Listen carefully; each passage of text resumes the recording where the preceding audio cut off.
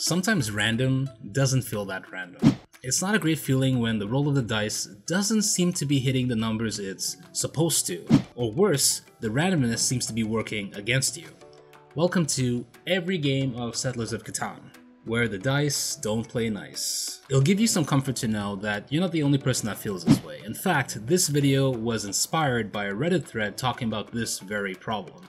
And in the same thread, luckily, a lot of people had some really good solutions of how to deal with it, how to minimize the randomness or circumvent it altogether.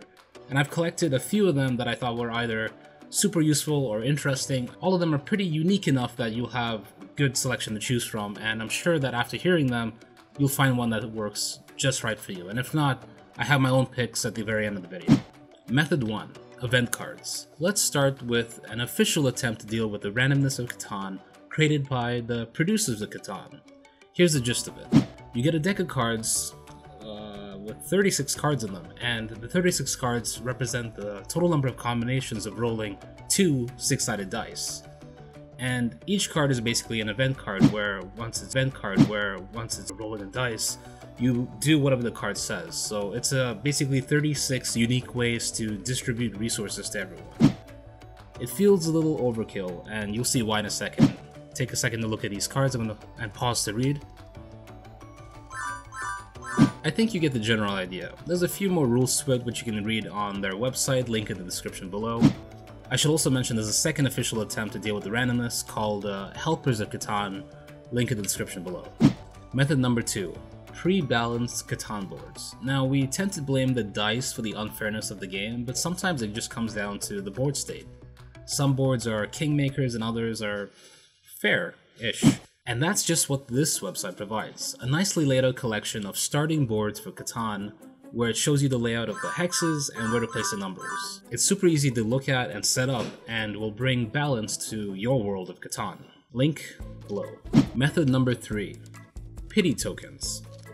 You ever get super excited when it's about to be your turn and you know that the roll of the dice has to roll something in your favor. You just have like a really great board setup and there's no way that you're not going to hit something and yet somehow you get literally zero resources.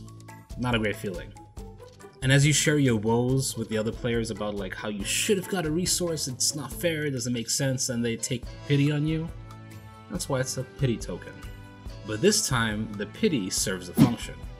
Each time a player doesn't get any resources from anyone rolling a dice, that person is given a pity token. You can use coins or beads or whatever small trinket things you have lying around. They can then on their turn use those pity tokens to exchange them for any resource that they like. But here's how it gets balanced.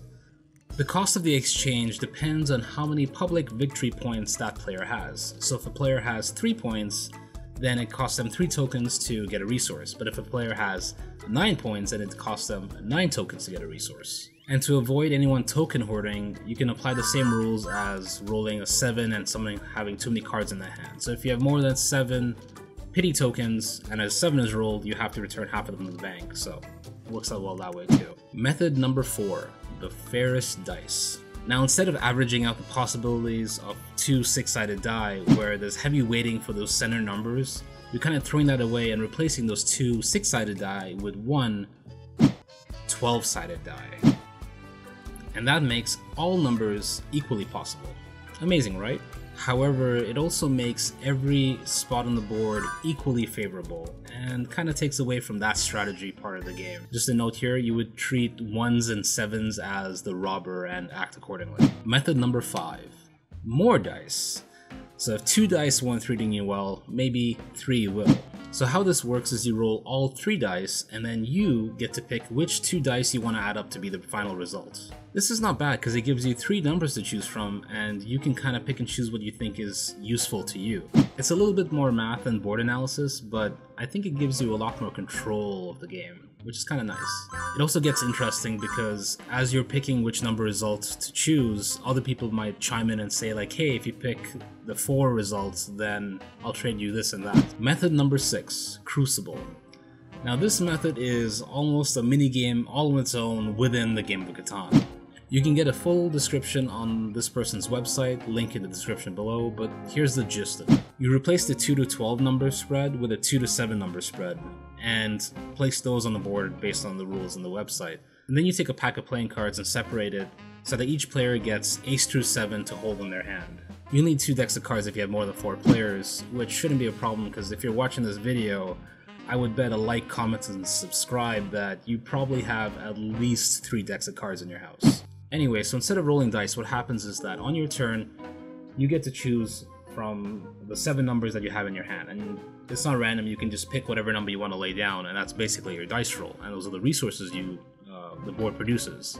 But once you place that card down, it stays face up on the table until your hand resets. It resets by playing an ace, which is basically functions as the robber, but uh, you can look at the finer details in the website. But imagine being able to negotiate what cards you play. It opens up a whole new level and layer of the trading phase of the game. So then you can say things like, I'll play my 5 if you give me some of the resources you get from me playing this number. It definitely has a lot more to think about and might slow down the game more than expected, but still cool. Method number 7, Real Talk. Now this is where you either start clicking out of the video or spamming the dislike button because I'm about to get real with you. Settlers of Catan is perfectly fine as it is.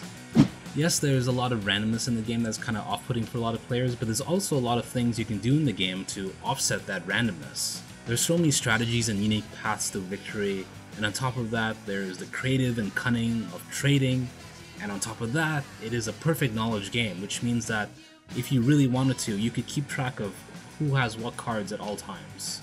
These factors have been proven to outperform the randomness of the game as proven by the results of major Settlers of Catan tournaments. You will often find the same people doing well in these grand tournaments, which says a lot because it takes a lot to get there.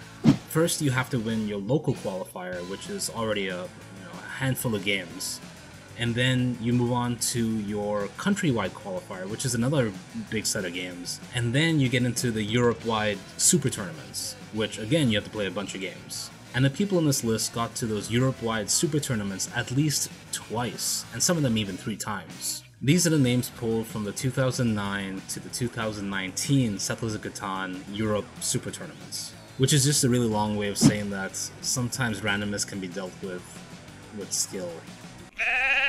Also, since you watched this far in the video, I'm gonna assume that this game is actually kind of important to you, and I feel like part of the charm of the game and what keeps you coming back for more is that randomness. That feeling of excitement of almost winning, but not having the absolute certainty of doing so.